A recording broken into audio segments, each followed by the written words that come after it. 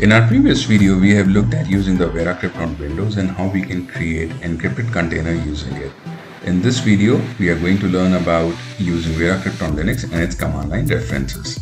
At an outset, like you see on the screen, we can create the container using VeraCrypt hyphen hyphen create command, update the container information using the VeraCrypt hyphen hyphen change command, mount the container using VeraCrypt hyphen hyphen mount, and dismount the container using VeraCrypt hyphen d command. Now let's see all of this in action and more in the upcoming screen. So let's download the VeraCrypt for my operating system.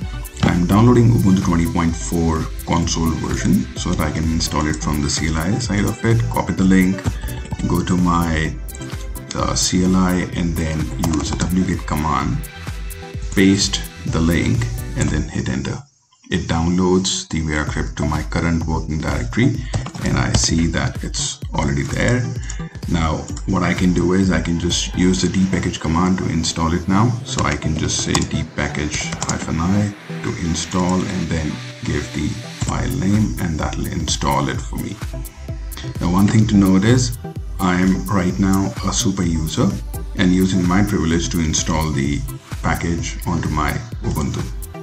Now that we have uh, VeraCrypt installed into our Ubuntu server, let's start by creating the container first. So since we have VeraCrypt installed, I press the tab and that completes the command. So VeraCrypt hyphen hyphen create and give a path where we want to create the container. We can give the absolute or the relative path.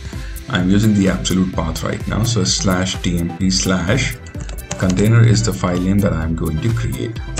Hit enter and it is going to ask us questions and we have to answer those questions to create the container. So we are going to create the normal. So enter, enter the volume size. So let's say we are going to create a one gigabit of the size.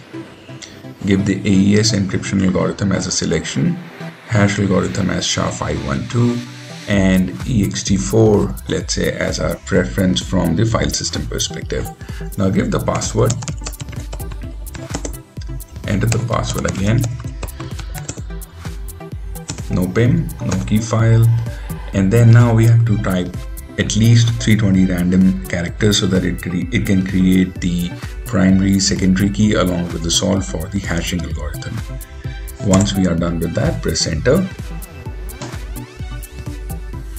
And there it is. So if you look at the steps, it's pretty much same like what we have seen in the Windows edition as well. Once the process is done, we can take a look at our file which is in slash tmp and that's where it is. If I look at this particular file, I can see it's a data file. And if I want to look at the size of the file, it's exactly one gig. So there we are, we have the encrypted container ready for us. Now, in order to skip the entire wizard process, we can give all these parameters on the command line as well. So let's take a look at that. So VeraCrypt hyphen hyphen create. Give the path. Uh, this time we'll give it as container.1 because it's a new container that we are going to create. And give the volume type. Now this type can be a hidden or a normal. So we are going with the normal volume type then we want to use the encryption mechanism as AES algorithm.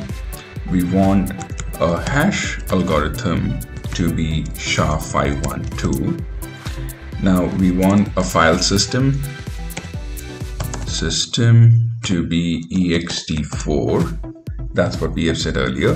The size of the container we want is around 1 gig and we want a verbose output now some of the parameters we have skipped into it is like giving the password or giving the encryption file or the key file. Uh, we will look at other options as well as we progress in the video. Click enter. And now you have an option to give the password. Re-enter the password. No PIM no key file. Now type at least 320 random characters again. Press enter